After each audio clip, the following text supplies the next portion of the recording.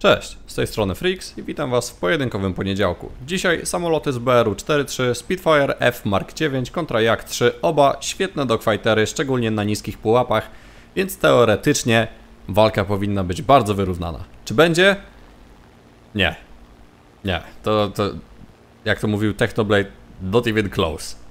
Spitfire po prostu gniecie jaka i będziecie w stanie to zobaczyć. E, będą jakby małe urozmaicenia w późniejszych pojedynkach, ale możecie zobaczyć sobie, że jak e, przy równej walce nie ma absolutnie nic do powiedzenia. Tutaj lecimy na minimalnych ładunkach paliwa. Tak się składa, że i w Jaku, i w Spitfire'ze wynosi ten ładunek 14 minut. E, więc widzicie, tak naprawdę cokolwiek Jerry, który jest z mojego dywizjonu i e, dzisiaj był moim sparring partnerem, cokolwiek by nie zrobił, Spitfire jest w stanie po prostu śmiać się Jakowi w twarz w bezpośrednim dogfajcie e, i jak jedyne co może zrobić to spiąć tyłek i przygotować się na grad pocisków z, z 20 mm działek, które będą dziurawić go z lewej, z prawej, z tyłu, z przodu, z każdej możliwej strony, bo jak naprawdę nie ma tutaj zbyt dużo do powiedzenia. E, oczywiście, od razu zaznaczam, to co się dzieje w izolowanych pojedynkach dzieje się w próżni.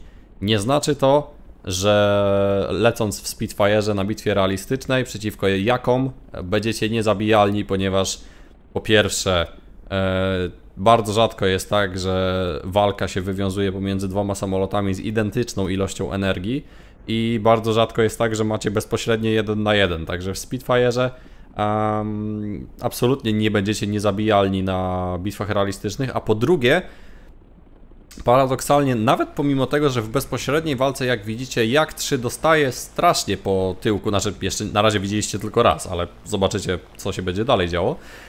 Ale ja, jeżeli miałem do wyboru Jaka, a Spitfire'a, F Mark 9 i polecieć jednym z tych samolotów bitwę realistyczną, zawsze wziąłbym Jaka.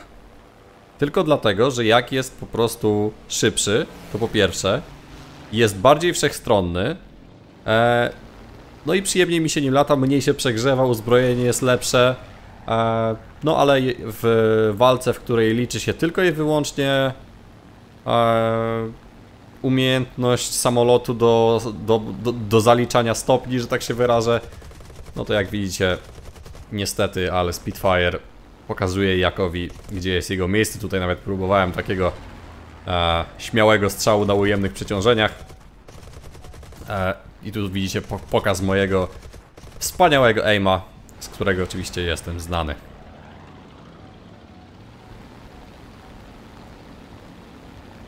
W tym momencie nie mówię, bo nie uważam, że muszę mówić przez cały film. W niektórych momentach mogę przestać gadać i możecie skupić się na walce, aczkolwiek tutaj nie za bardzo jest co oglądać. Eee, ten film jest jako taka powiedzmy ciekawostka. Nie ma co oglądać, znaczy, no tak, może tak, jeżeli nie wiecie co, co, co robić w walkach 1 na 1 e, to jest to jakiś przykład, natomiast jeżeli przyszliście tutaj, żeby zobaczyć bezpośrednią walkę dwóch, bezpośrednią zaciętą walkę dwóch dobrych pilotów, to, to, to troszeczkę źle trafiliście, bo piloci może i są całkiem całkiem, ale samoloty niestety nie dają nam tej zaciętej walki. Teraz zmieniliśmy rolę i w dodatku Jerry e, do Spitfire'a wziął pół godziny paliwa więc e, różnica jest ciutkę mniejsza, co daje Jakowi pole do popisu. E, ale tutaj naprawdę, będąc, e, pilotując Jaka, trzeba po prostu tyle się pocić, e, że, że po dwóch takich pojedynkach będziecie tak wycieńczeni, że nie będziecie w stanie ich kontynuować, więc e, nie dość, że jest to nieprzyjemne w grze, to jest to również nieprzyjemne fizycznie. E, i jeżeli macie zamiar to robić, to pamiętajcie o odpowiednim nawodnieniu. Jak widzicie tutaj z Jerem poszliśmy w walkę w dwóch kółkach, w tym momencie nie mam pojęcia jakim cudem jeszcze żyję, ponieważ Speed mógł mnie na spokojnie wykończyć, ale jak widać nie tylko ja słynę z dobrego aima. No i wchodzimy w walkę e, tak zwaną One Circle. E, wchodzimy w nożyce, tutaj wyzerowuję silnik i staram się trzymać prędkość tak pod 290, bo to jest mniej więcej taka chyba najbardziej komfortowa prędkość, jeżeli chodzi o klapy jaka. E, no i staramy się wypuścić siebie do przodu, znaczy nie, wypuścić przeciwnika do przodu. E, jak widzicie walka jest e, dosyć, dosyć zacięta. No i w, jeżeli chodzi o walkę właśnie taką One Circle w nożycach, kluczem jest to, żeby zacząć, żeby dołożyć przepustnicy w odpowiednim momencie. Ja to robię, w, ja, ja to robię teraz, ponieważ stwierdzam, że, że wystarczy. E, powietrze pod nami robi się coraz, coraz gęstsze i zbliżamy się do dachów zrujnowanego Berlina. No i w tym momencie zobaczcie, robię górne jojo, do dokładam klapy, żeby zakaz za wszelką cenę się do niego dokręcić, no i prawie go mam. I w tym momencie obrona przeciwludnicza e, tego Berlina stwierdza, że koniec z tym hałasem e, i po pogrążam się w, w dachówkach. Teraz macie pokaz jak wygląda pojedynek Jaka z, z elitarnym lotnikiem, e, z których oczywiście składa się mój dywizjon, który wziął pełen bak paliwa w Spitfire'ze i w dodatku wziął bombę. E, więc różnica powinna być jeszcze większa, a tak naprawdę ilość potu, którą musicie zostawić na myszce i klawiaturze w jaku, e, praktycznie się nie zmienia.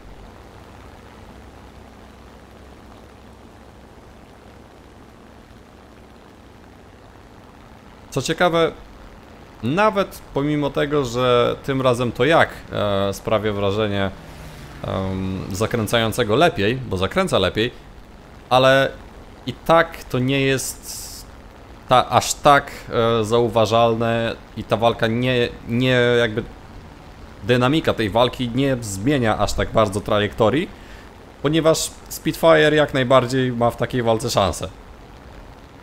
Jak głupio by to nie brzmiało.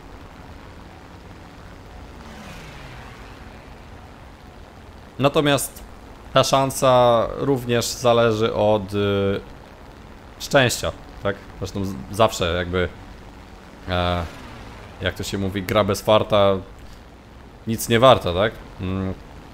Tutaj odpuściłem, bo nie chciałem się zderzyć, jako że on jest cięższy, więc miałby większe szanse w zderzeniu. A moja strefa zgniotu nie jest zbyt imponująca, jak i to nie są zbyt wytrzymałe samoloty.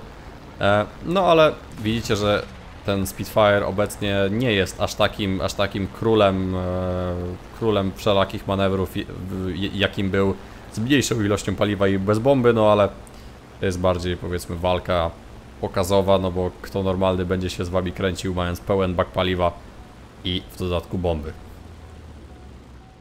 Albo jedną bombę.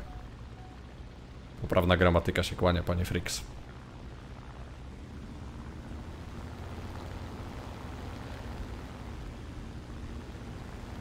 W tym momencie mamy pojedynek helikopterów.